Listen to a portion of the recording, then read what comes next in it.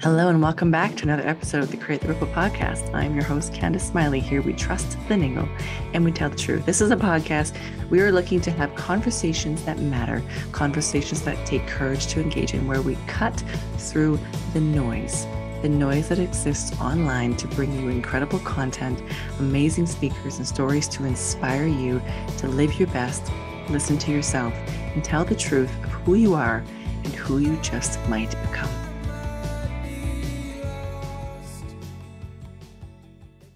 All right. Well, welcome back to another episode of the Create the Ripple podcast. My guest today, she's a really cool lady, guys. I was, you know, doing some checking out before I uh, turned on the video, and she she joined me, and she looks fabulous as we are connecting and we are showing up as our true and authentic selves today.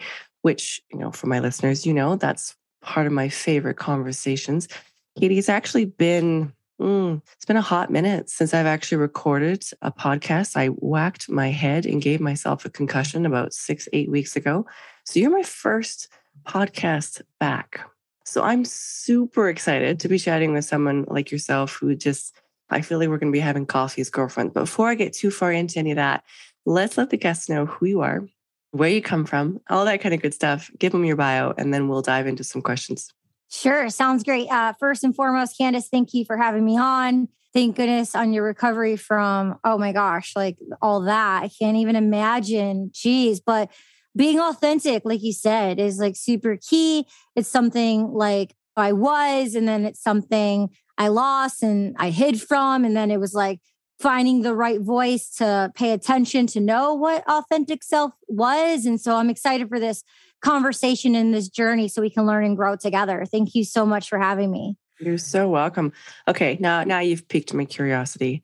Had some authenticity, lost the authenticity, yeah. didn't know how to find it. I mean, I can feel you on that because I certainly have my own story like that. And I it's taken me a really long time to come to a place where I feel like I'm showing up every single day as I am, but as a recovering people pleaser. Mm-hmm. Sometimes that same. sometimes it feel that feels a lot easier than others. So let's hear your story on that. Yeah, I mean, authenticity, I, lost it. Tell me more about that. Yeah, where I jumped to is just like you know, my mom says I came out kicking and screaming, and I haven't stopped since. So I've always marched to the beat of my own drum.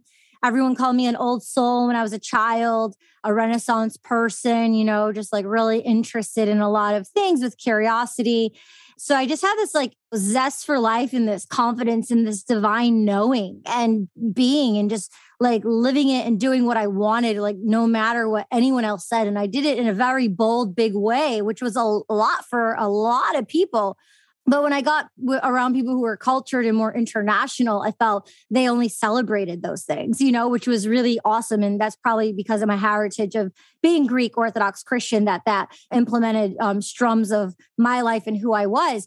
But then there became this opportunity when I was like an entrepreneur as a young child and looking into like quote unquote, you know, it being a man's world or blah, blah, blah, all that stuff we've, you know, all have heard brushstrokes over. And so like I was just like really serious in business and what do I have to do? And I would invest in myself in so many ways. I would be like, success, jump. How high? Multimillionaires, multi-billionaires. Like, what do I have to do? Left, right, do this, do this. And I would go around the world and I would do like everything within my own ethics, morals, and boundaries of what my baseline was. And some of it was knowing, and some of it was unhealthy, and some of it was a discovery, and some of it was exciting, and some of it was scary. And I did all those risque things and this and that to a certain extent. And then with, you know, all that being said, I just like lost myself and I chose to lose myself. And that was a choice. There's a like famous quote, like lose yourself to know yourself. And like I had a knowing of what I was doing. And then I was traveling the world asking everyone else, like I did what I wanted to do. Right. And then there was a shift when I became like, I don't know if it was like not not 19. It was the transition of like 2021 where I started instead of listening to the core of everything within and knowing I started asking everyone. So I went on like a world decade tour of people pleasing and doing what everyone what everyone else wanted me to do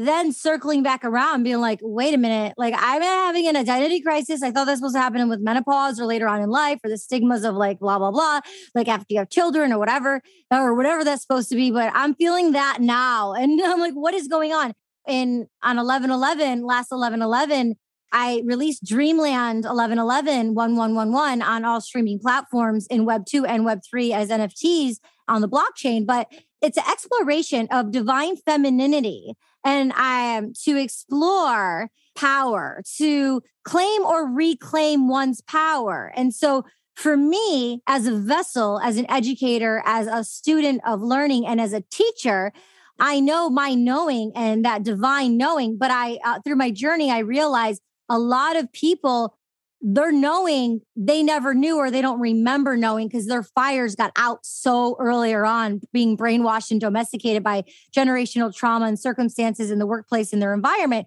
so the album is an homage to claiming one's power and or reclaiming so for me so for someone listening it could be claiming your power not knowing it and for me it was reclaiming my power so and it aligns with my popular podcast called She's All Over the Place, season four that we're in right now.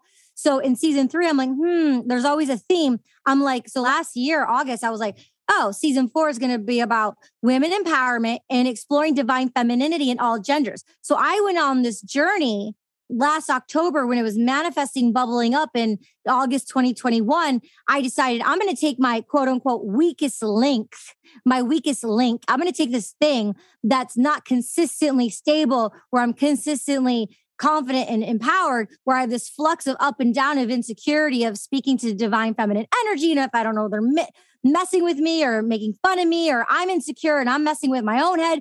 So I'm like, I'm going to focus on this. I'm going to call it out and I'm going to put it through my art. I'm going to put it through my popular podcast. She's all over the place women empowerment, not only through myself, but by having you on, having people on to hold hands so I can hold space to ask questions, to learn and grow together. I just got chill. So we can learn and grow together. So, and then that was August, and then November was the album. So then everything's aligned with my whole authentic self of my spirit, my being, of my internal core of who I am and what I want, how I want to serve, and how I want to create space to empower others because I wish I had that when I was a little child.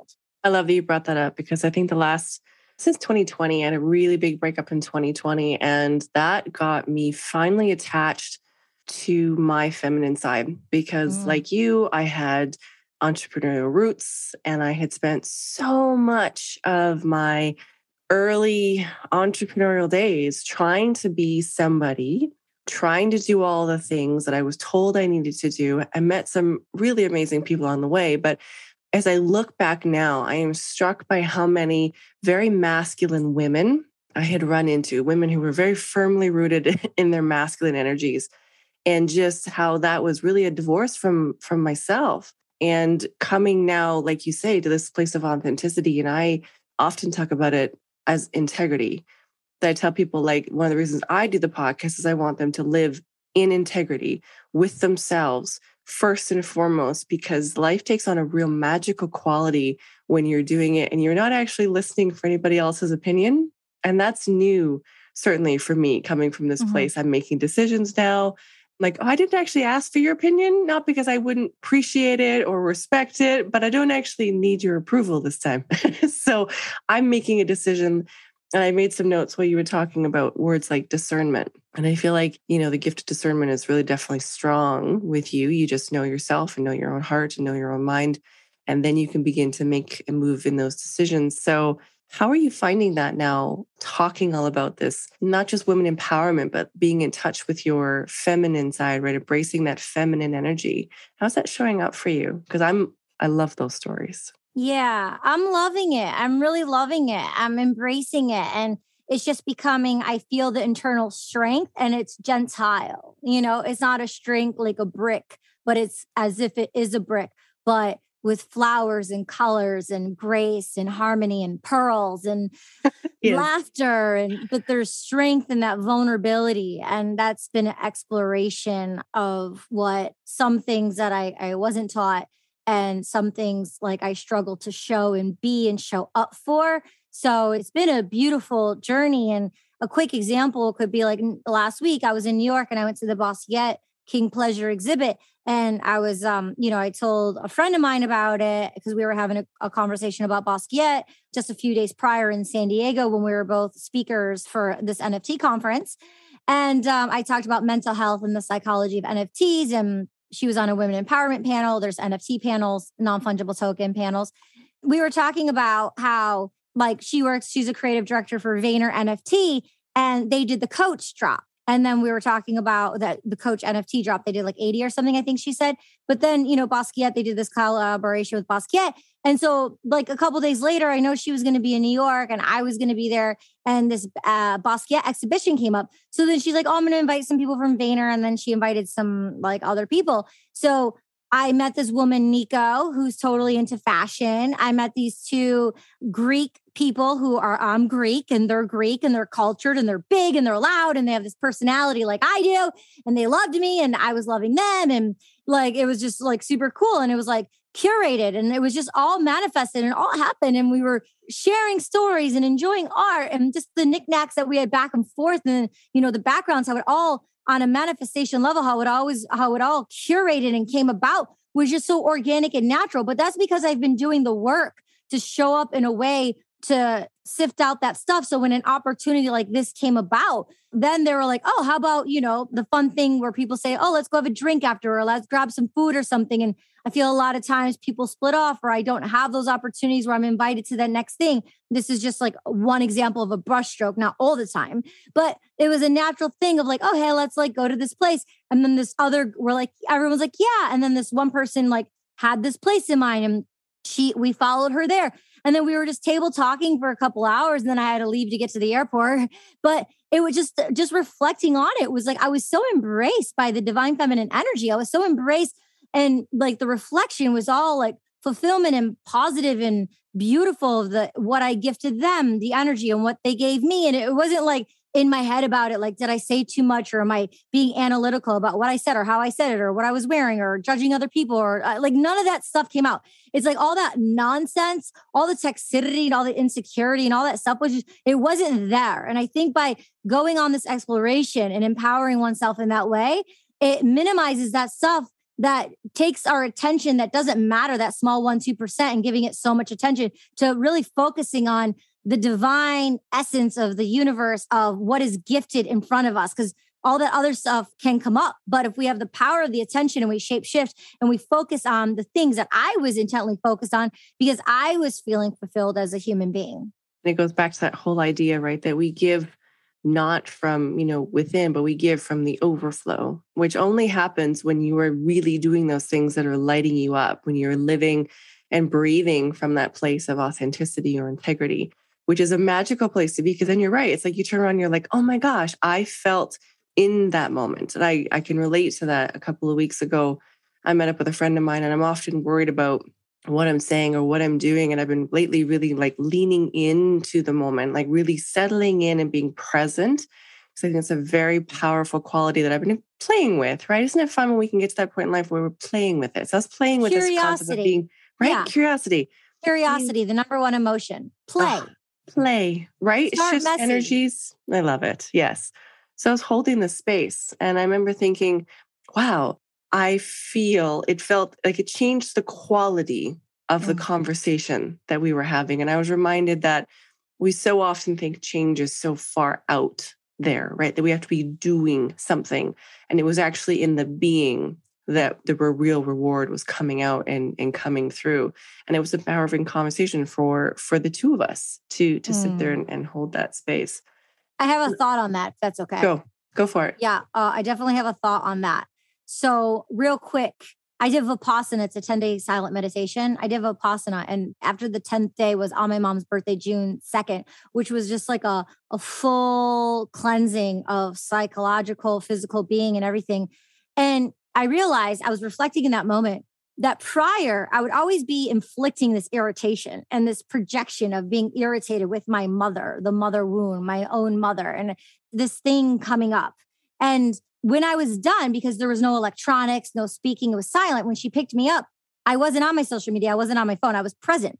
And I noticed because I was fully present, like you were just mentioning, which is why I'm sharing this story. I mentioned that when I was actually just really, really present, that irritation wasn't there my mom was always being the way she was. It was me half splitting my attention to being on my social media and then just being annoyed with like my own thoughts of the projection of what I thought of her. But actually, when I was in the moment, I was like, this is who she is. And I was just honoring and embracing her subtlety, her gentileness, her voice, you know, her softness and how sweet she is. And I was able to really embrace it and be in the moment with that and and know that I was blaming and shaming and projecting outside, but actually it was stuff that was happening inside that was going on. And it's not fair for me or my relationship with my mother and it wasn't fair to her and she doesn't know it.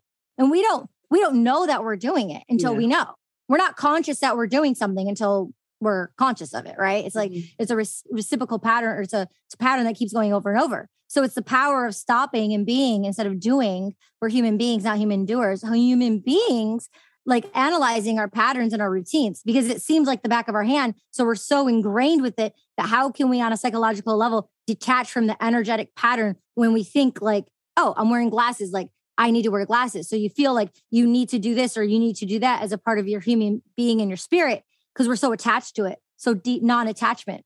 Yeah. I'm curious about the woman empowerment, mm. right? Because you're very much about that. And I can see that not only do you you know live out loud so that other women can see it and know it and you know seeing your example maybe potentially find it within themselves to do or be or say that thing that they want to do but was there a moment for you when you realized you wanted to be that person or mm. have you mm. always been that person or sometimes there's a circumstance where you're like i will be different from now on and then you realize that your life has become someone else's roadmap right from where they are to where they'd like to be yeah, I three pivotal points that come up. Uh, I'll start with being 12.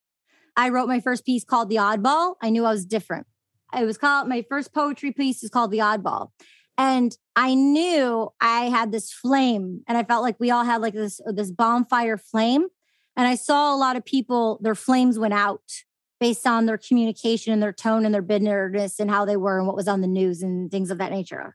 Very sincerely, very, just observing. I knew I had to protect this bonfire flame of mine. That was my fire and my passion for life. So I've always been very sacred and holding on to that for dear life, even when you travel in the yes. world, like people wanting to smash that out every which way and me submitting to it after being so vigorous of not submitting and saying, if you want to, go ahead. And I allowed it. And that was the exploration of losing myself to find myself again, to find that new fire, that light within. So that's a whole journey. Another time was when I was 14. I wanted to be a motivational speaker. I had it all planned out. I wanted to um, put an ad in the papers, uh, have a, a two day conference, and I wanted to speak with the microphone and tell people charge them $250 a day in 2014, charge them $250 a day. I had the numbers, everything planned out. And I wanted to speak about how great life was and how to inspire and motivate them. And the only one that stopped me from doing that was me. Uh, the imposter syndrome. I thought, well, how are people going to listen to a 14 young, young little girl who hasn't traveled and been over the world? So I said, so then I gave myself a runaround. I said, let me travel the world. Let me go out there and accomplish things, and then I will do it. So I went and did all those things, and I'm and that's what I'm doing now. So it's like I always knew I wanted to do it. I just wonder if I would have done it. The imposter syndrome. I always wonder, like, what if I would have done it? What if I would have been that prodigy? What if I would have been doing TED Talk for kids? Who even knew if they had TED Talks then, right? For kids. But yeah. what they didn't have YouTube, they didn't have Google then. But what if I would have been that person doing that thing? What if? But we can't live in the sports world. My coaches say, woulda, coulda, shoulda doesn't happen in the sports world. It doesn't happen in the real world either. So I'm doing it now. So it was meant to be. I'm going to pay it forward. I'm going to make an impact. And I'm in action doing that. I'm being that. I'm living it. And yes, I do have boatloads of experiences now of traveling the world and getting involved in different areas of life with with people and in the workplace. So um, I'm grateful that I have that. I'm grateful I, I had that intuitive hit. I know what regret is. I'm not going to beat myself down for it. I'm not going to sit there and sulk in it for too long. But there's some healthy boundaries of communication of you know that. But that's a whole different life. That's a whole different life of what if would I be on this journey right now, or would I have been on a different journey. Who knows? That's the beauty about life, the unknown and the known, and what we can create.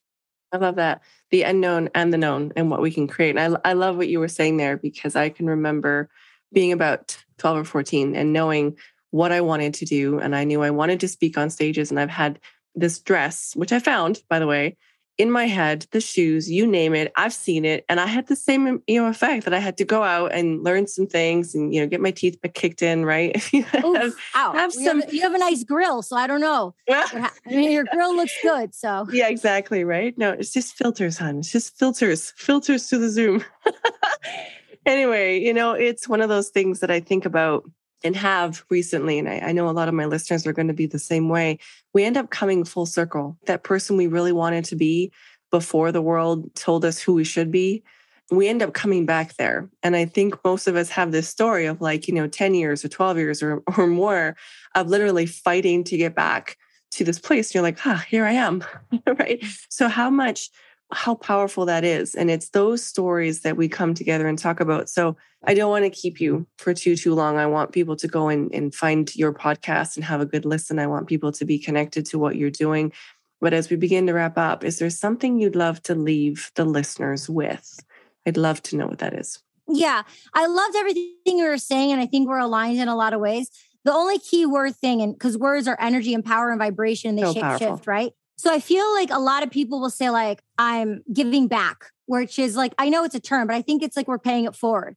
And so, mm. in regards to not auto correcting you, but just like in the regards of like, fine, and I did it to myself, like, I want to go back to that feeling of how I was feeling. But then I realized there's no going back, but I want to be connected full circle with that source but how I am now. Because so many women, if I say like with with weight, because it's a big thing in body image, right? Is like how my body was isn't going to be how I was a senior in high school or when I was in like running cross country or I was running 50 miles a week.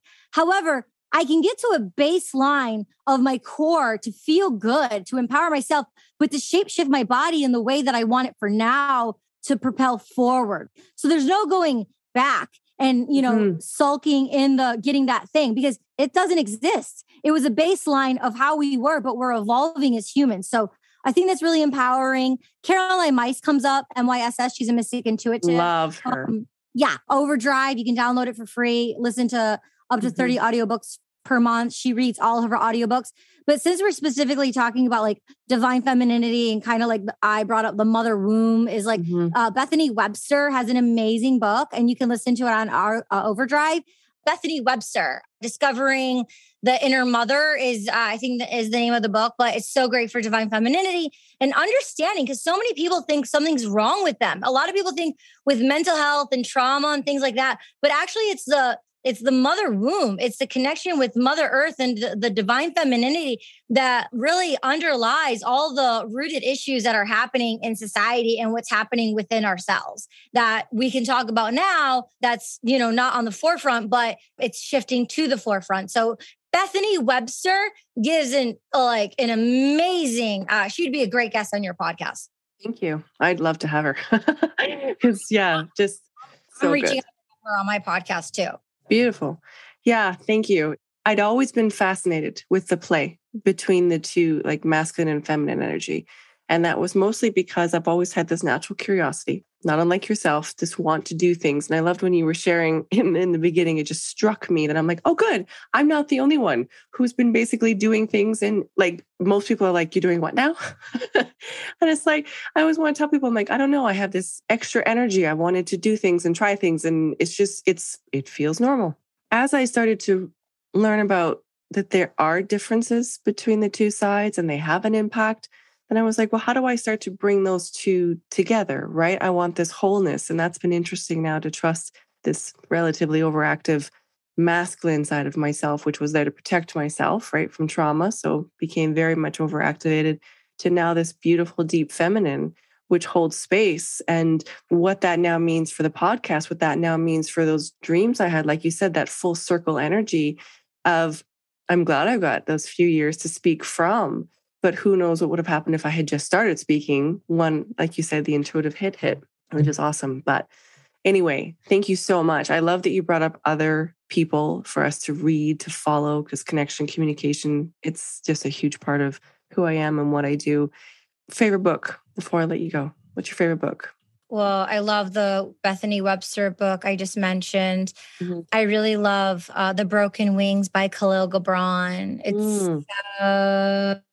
Beautiful. And if you're not like a visual person, it's so sensorial and it just it's so visual too. Even if you're not, like it it enhanced. It's like seeing a Van Gogh painting. It was just it made things so colorful. The, the language, the literature, the tone, and the stories and the imagination. It was just super freeing. And and Mastery of Love by Don Miguel Ruiz. Oh, love him. I read his Four Agreements every year. Like it's just yeah. prerequisite. January rolls around, read the book. Yeah. yes, exactly. And tune into Mastery of Love. It's so mm-hmm. beautiful yeah. how we're all very primal beings and then we're domesticated by our circumstances and through generational stuff and how everything's a blank canvas and we're just stories within stories and to be able to shape shift and say okay let me take the bags of everything of how i'm supposed to be of what i was told i needed to be by society by school by my teachers by my parents by my grandparents by my brothers by my friends. And let me just create a, let me have a new blank canvas and let me take what i want from that and put it on there. And whatever i don't let's just leave it off but let's create some new things of what I want first and foremost. Yeah. First and foremost, let me put what I want on this canvas and then look at the bag to put on or to leave off, right? Yeah. And it's had a huge impact because I've got a daughter and she says all the time, Mommy, everybody's different. She's such a good reminder. She's an extrovert, I'm an introvert.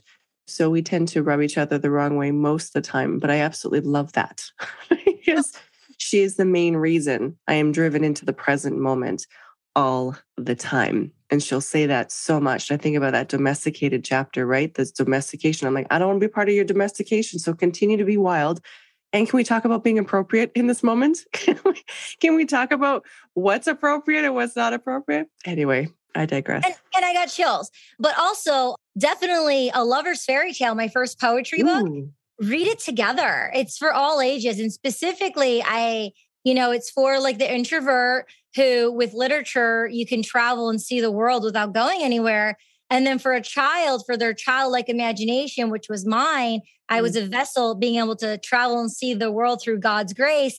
And, you know, it encapsulates like a, parent being able to read it to their child of like reading, you know, children's books growing up. Well, this mm-hmm. is a lover's fairy tale was made for a child to be able to use their own imagination with dolphins and elephants and doggies and animals and flowers and just traveling to be able to use their imagination as well in a very like innocent childlike way love it well thank you so much katie it's been an absolute yeah. pleasure to hold space with you today Thank you for being my uh, first episode back. It feels good to uh, shake off the cobwebs and share space with a fellow podcaster. So thank you. Yes, congratulations. My pleasure. Yeah, definitely. Awesome. And for the rest of you, my beautiful listeners, thank you so much for tuning in today.